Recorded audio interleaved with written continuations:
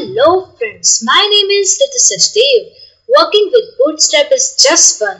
Today here in this tutorial I'm gonna show you how we can create Jumbotron layouts. I will also show you how we can create some cool call to actions button in Bootstrap with some pre-inbuilt classes.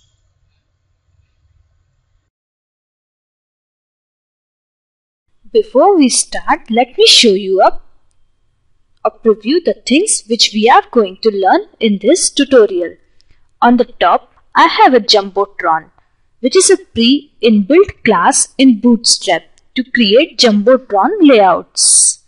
And you will also find there are several buttons of various colors and sizes, which are also created with the inbuilt class in Bootstrap.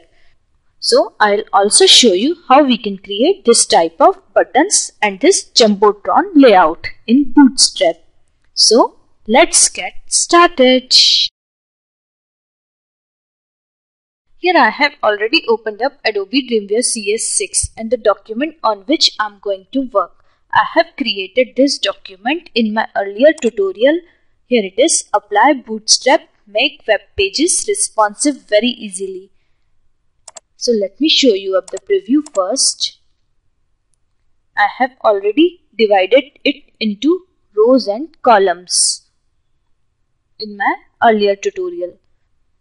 Now in this tutorial we will convert this top row in Jumbotron layout and you will find here I have certain links of read more. We will convert this link in some clickable buttons. I will show you how we can create this call to actions button in this bootstrap. Here in the last tutorial I have already linked up this bootstrap.css and bootstrap-theme.css in this document. So now let's proceed further.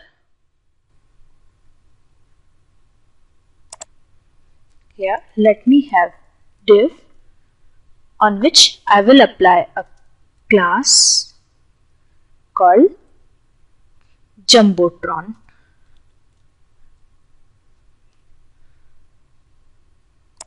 And let me close this div also.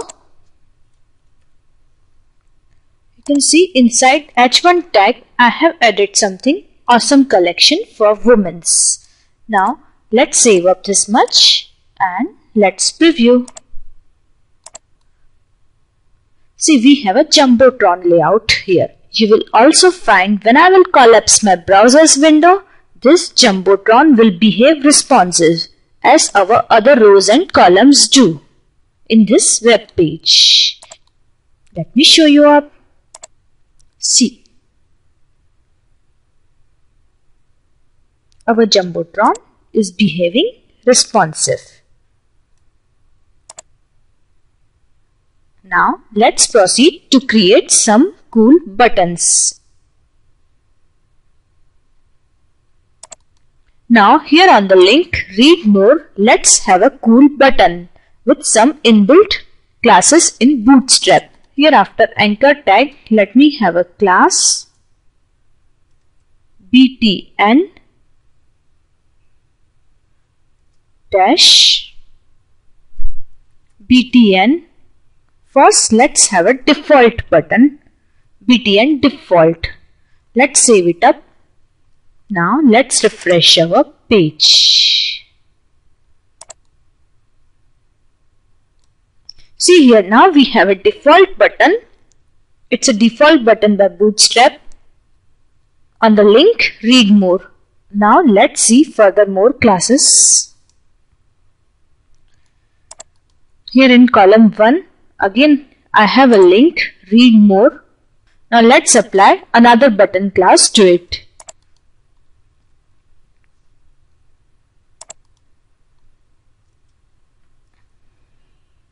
Class btn. Now again let's have btn dash primary. Now let's save it up. Let's preview. this is our document. Now let me refresh. See here now I have a blue color button. When I have given a class primary to it. Now in column 2 in row second here is the link. Uh, let's add a class. Btn as we always have to mention now the class btn dash warning. This will give us an orange color button. I would also like to apply one more class to it. With warning, I would like to give a class btn dash lg. Now let's save it up. Let's preview. This lg class is going to give us big button, large button, Let me refresh. See here, now I have a large button, orange colored.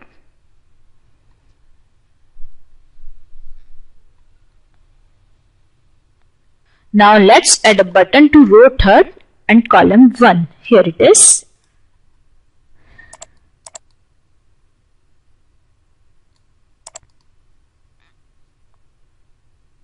Here is our link.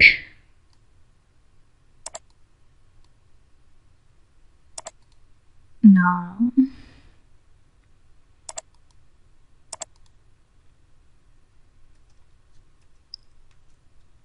let me have class.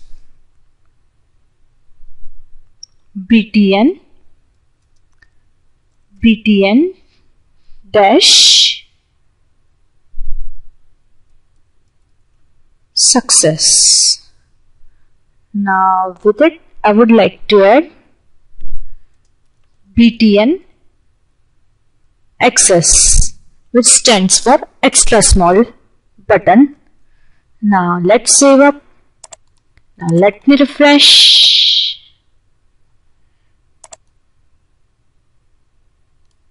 See here now I have a very small button which is in green color.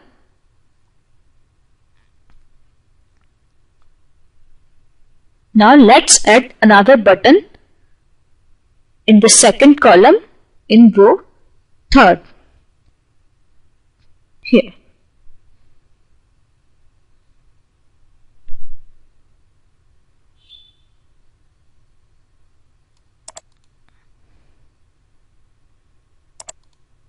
Here is the link. Read more. Let's add a class. Btn space btn dash danger. Now this danger is going to give us red button and let me also give a class btn dash block. Now this is going to occupy the whole block. It is going to behave as a block button going to occupy the whole width of this column. Let's save it up. Let's refresh.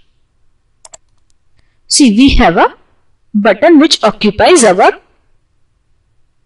whole column. Now you can play more with this button also.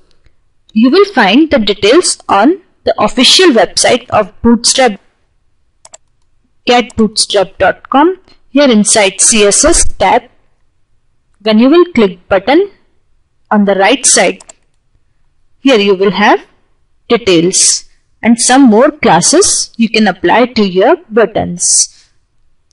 The major classes is what we have discussed.